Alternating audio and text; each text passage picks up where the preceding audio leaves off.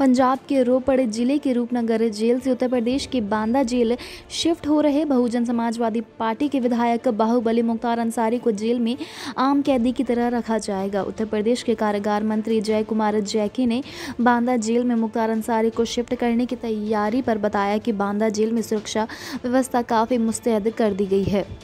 कारागार मंत्री जय कुमार जैकी ने बताया कि बांदा जेल की बैरक में विभाग ने विधायक मुख्तार अंसारी की सुरक्षा के इंतज़ाम काफ़ी सख्त कर दिए हैं। बांदा जेल बैरक में हर तरफ़ कड़ी सुरक्षा व्यवस्था रहेगी। जेल में मुख्तार अंसारी को आम बंदी की तरह ही रखा जाएगा।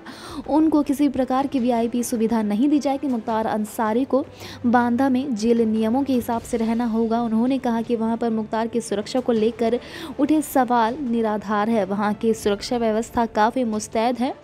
वैसे भी लंबे समय तक मुख्तार अंसारी वहाँ पर बंद रह रहे हैं।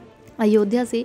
बीजेपी के सांसद लल्लू सिंह ने मुख्तार अंसारी मामले पर कहा कि उनके अपराधों के मामले में कानून अपनी प्रक्रिया पूरी कर रही है। योगी आदित्यनाथ, सरकार को प्रदेश की कानून व्यवस्था को काफ़ी सुदृढ़ करना है, इसलिए अब सरकार किसी भी माफिया को छोड़ने वाली नहीं है।